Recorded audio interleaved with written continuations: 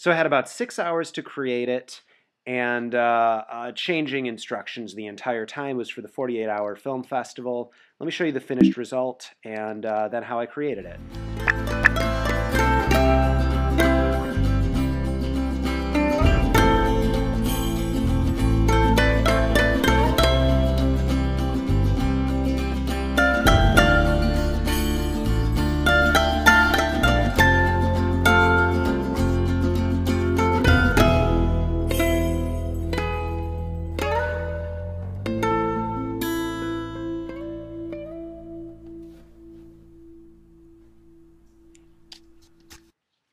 Right, so I got the instruction uh, at about 6 a.m. in the morning on Sunday. He said he'd get it to me at 7 p.m. Saturday, but it was the 48 hour film festival, so it never exactly works out as planned.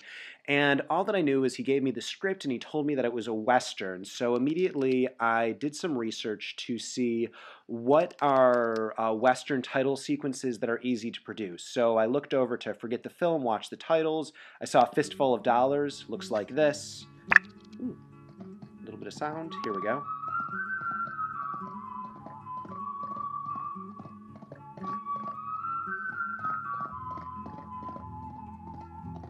I saw, few, I saw a few others as well, The Good, the Bad, and the Ugly, and then I stumbled on this one as well.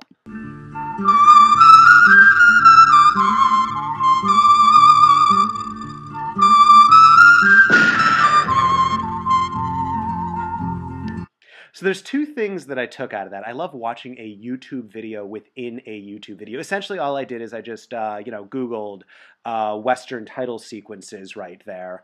Um, so I sent those two to him, and I was I said I'm going to do something in between this. Uh, I got the comments back. Uh, one comment I got fewer colors, and the other comment I got is, could you make it more like this?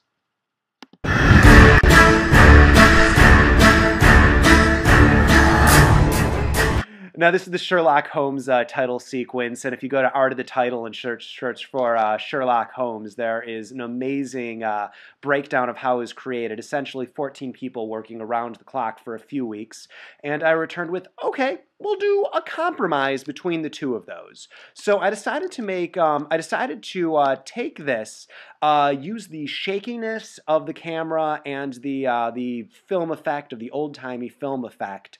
Um, and then combine that with some illustrations that go from the photos. So I asked them to send me a couple of photos. Now, I didn't really know how to do the old-timey film effect, so I went to Video Copilot and um, I found a tutorial on Old Film Look, which is the third tutorial they did back in 2005.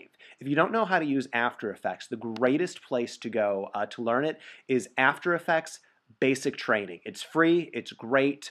Um, After Effects basic training, it's on videocopilot.net. Um, so what I did was I set up two cards in Photoshop. Here, let me uh, open up the cards. Uh, one of the cards looked like this, and the way that I created this, here, let me uh, just show you the layers right here. Uh, the way that I created it is I took a picture of a glass, and when I say I took a picture of a glass, what I mean is I took a picture of a bunch of different glasses. So here we go. Uh, this one was ugly. I found uh, the movie was called A Tall Glass of Revenge, so I decided to find a tall glass for it. And I used my um, my little light box that I've set up. Uh, I've set up in previous projects. I'll put a note. Um, I'll put a show note uh, somewhere uh, of a link to a blog post I did on how to create a lot, uh, light box. Um, originally, I tried putting this. I tried putting this cup into it. I didn't think that looked great. So then I was photographing it with this cup. I turned it on its side. I don't know if you guys can see it, something like that. And it ended up working out, well, decently fine. So going back into the Photoshop document, what we have right here is here, let me just work through these layers one by one. Uh, what we have right here is we have a background layer that's white, um, then we just have this uh, photo of a cup, which literally is just like a really lousy photo of a cup. Even though I used a light box, I had a lousy camera. It was just a Canon, uh, not not like an SLR, just like a really shitty Canon. Uh, swearing, yeah, I'll do that in my YouTube videos. Why not? I put a quick curves um, on it. I added uh, a layer that was just uh, beige. I added noise on top of that and a clipping mask. I uh, added this text, and then I used liquify to make it fancier. Uh, then I duplicated it to make it darker. Maybe I played with it a little bit on top of that. Um, I put a black and white. This one's actually interesting. I put a black and white with a, uh, a tint, a tint on it right there, and because there's a tint, it makes everything kind of that same uniform, old timey whatever. Um, and then on top of that, here this one's interesting. I put a um, paper texture um, and I just kind of put that on multiply. And then I put another paper texture on top of that on multiply. If you want a paper texture, just search for paper texture on Google or take a picture of a paper texture, scan it in. They're really easy to get.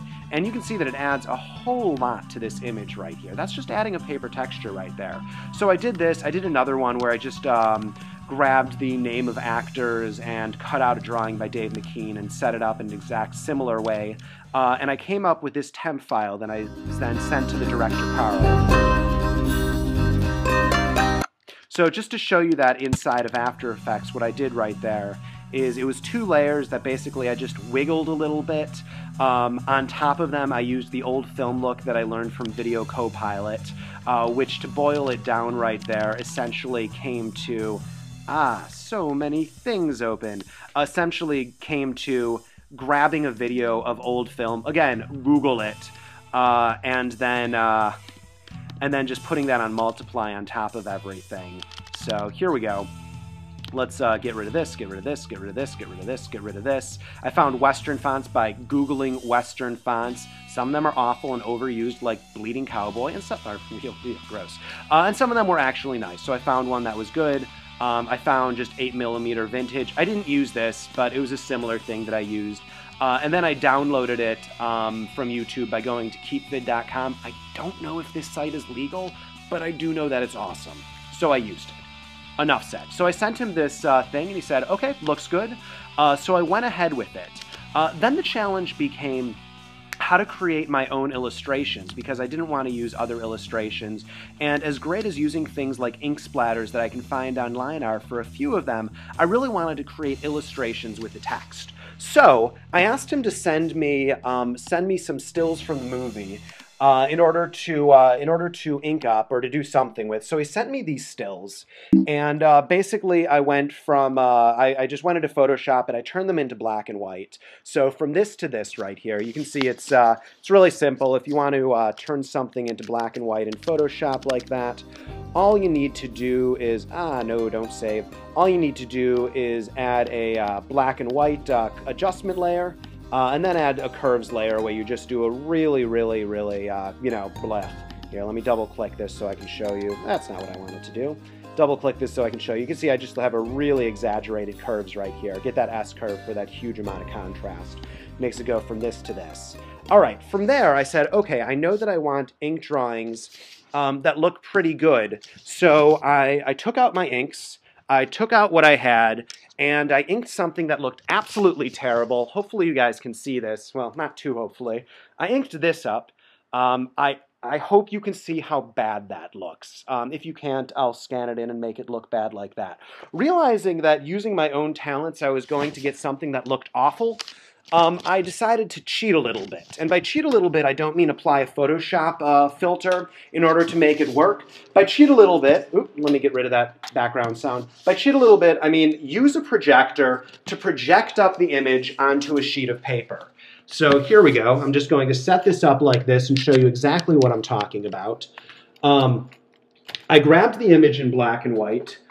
I uh, attached it to my digital projector, which I use for watching movies and teaching and all sorts of things. And you can see that right now it is on this sheet of paper. And so rather than trying to figure out the uh, dimensions myself, I just, I just used this. Hey, if it works, it works.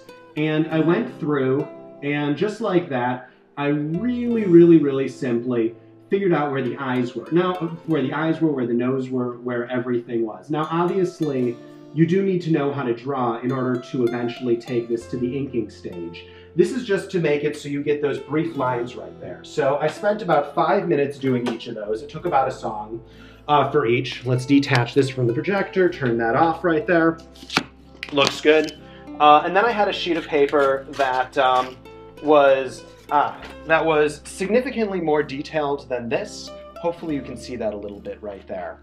Um, from that point, getting the uh, proportions or whatever you want to call it, uh, I went, here we go, past my light booth thing right there, and I went to my inking station, aka my kitchen table, filled up a jug with water, and I used a couple of tools in order to ink it up. I'm not going to teach you how to ink, but I used um, my, my nib, which I love.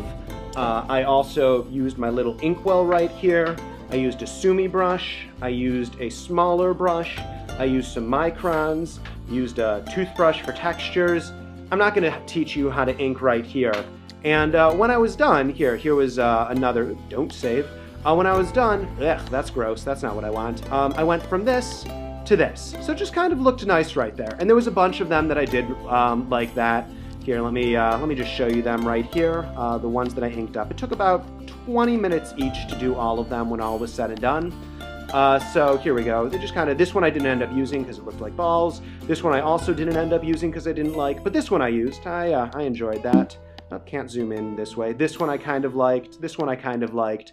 And again, oh, this one, this one I, I, I did like. Uh, in order to get that white right there, I had a, uh, I had a white thing. I forget what I drew over it with it within uh, white. So anyhow, I went in, I scanned those in, and then I went back into Photoshop. So here we go. I'm going to uh, delete out of this. And I went ahead and I made a bunch of cards. So uh, cards that looked like this. So what, what are we looking at right here? Nothing too complicated. We just have a beige layer. On top of that, I, I did noise, so just filter noise, um, add noise, uh, some text, some text layer that doesn't have anything on it. Uh, here's the illustration. You'll notice that I have a little bit of a mask set up on it in order to just kind of put it in there like that.